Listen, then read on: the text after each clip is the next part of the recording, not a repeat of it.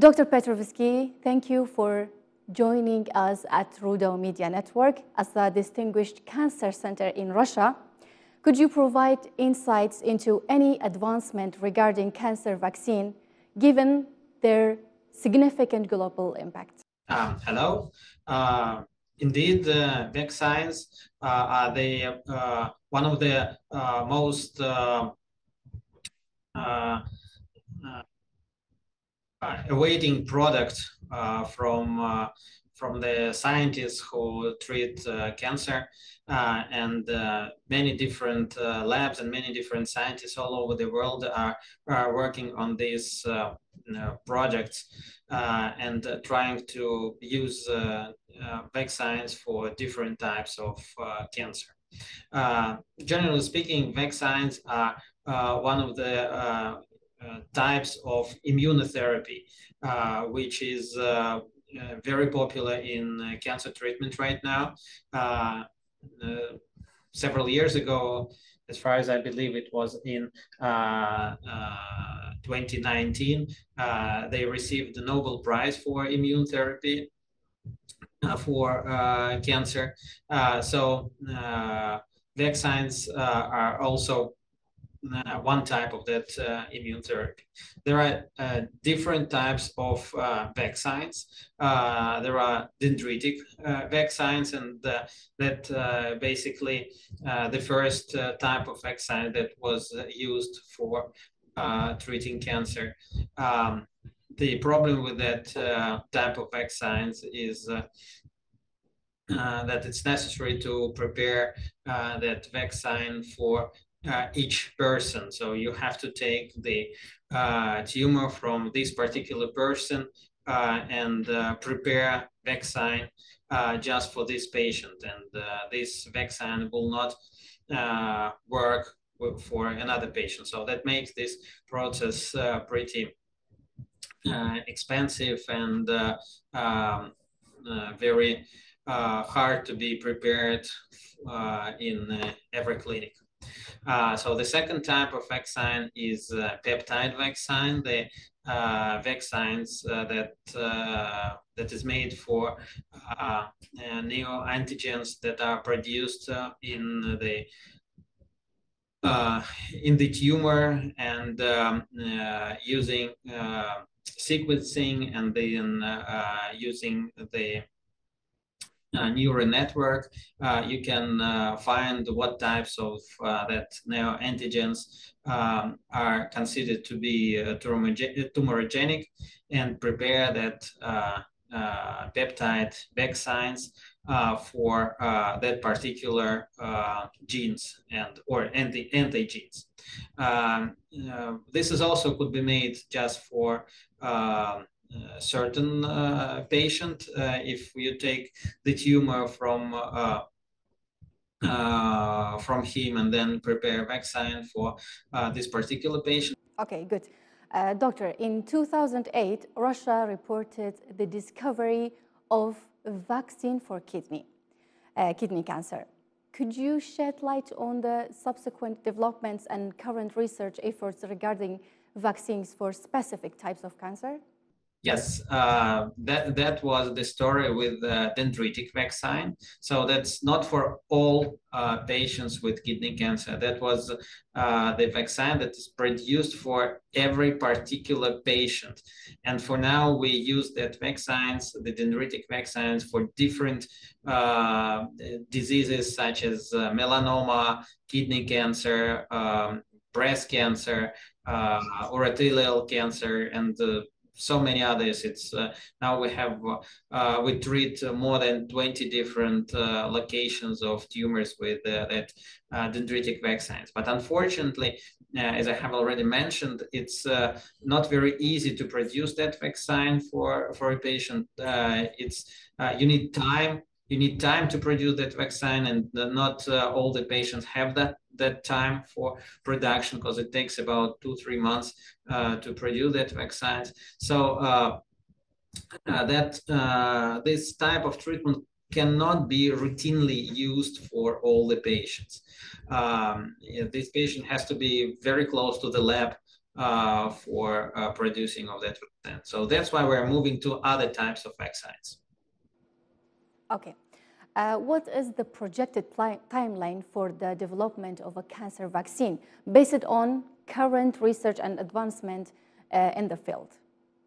Yeah, so uh, uh that's what I say. Uh, we're uh, we're finishing the preclinical studies right now, and I believe that next year we would be ready to start with clinical trials for peptide vaccines, the multi-peptide vaccines, and also another type of vaccines that are uh, uh, produced in our center right now. It's also in preclinical phase uh, nowadays. Uh, this is RNA vaccines, which are uh, pretty close to those that were used for uh, COVID-19 vaccination. Okay. could you elaborate on the most prevalent types of cancer among both women and men in Russia? Uh, most common uh, cancers uh, in Russia are uh, breast cancer, lung cancer, colorectal cancer, also stomach cancer, uh, prostate cancer, kidney cancer. In both cancer, women and men. Um, uh, these types of cancer, most of them are in men and women, but speaking about women, that's more breast cancer and gynecological cancer. For men, this is prostate cancer. Okay. Based on your experience with patients, what familial factors are commonly observed among cancer patients, potentially indicating a causative link?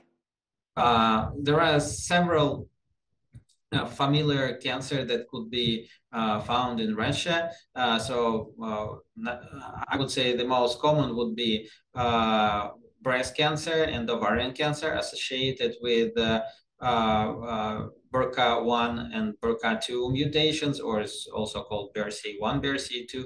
These mutations became popular after uh, the story of uh, Angelina Jolie, who made uh, some preventive surgery because of these uh, uh, mutations.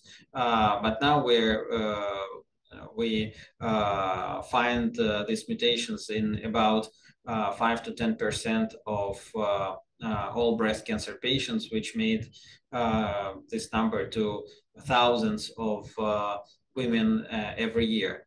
Uh, also, uh, this uh, BRCA mutation could be found in prostate cancer patients and in pancreatic cancer patients.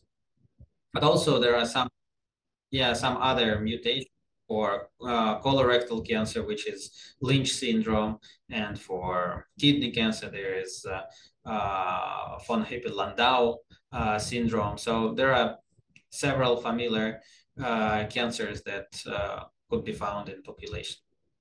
Okay. Uh, doctor, how do you advise citizens to adopt preventative measure against cancer? Uh, it's uh, th there are screening programs in Russia uh, they are uh, uh, state established and state funded. we have screening programs for breast cancer, uh, also for cervical cancer, that's for women. Uh, we have prostate cancer for men, and for both sexes, we have uh, screening for colorectal cancer. Uh, we also think of uh, starting screening for lung cancer uh, in uh, smoking men.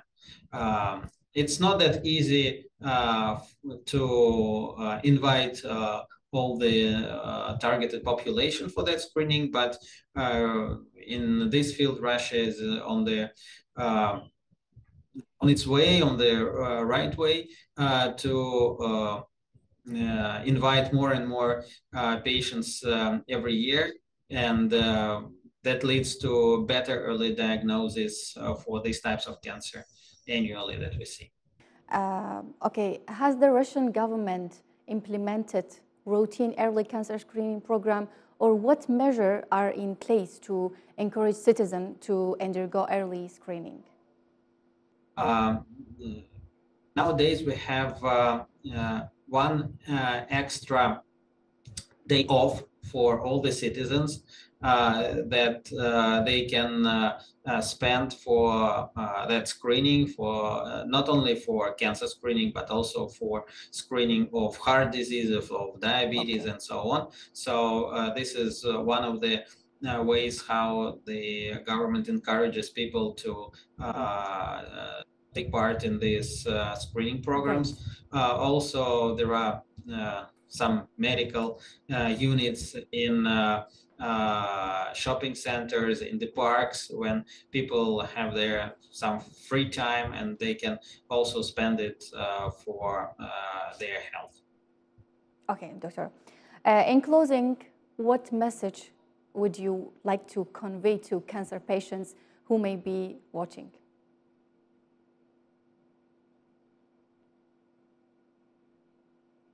Um, I have uh, several messages. The first message is for uh, healthy people.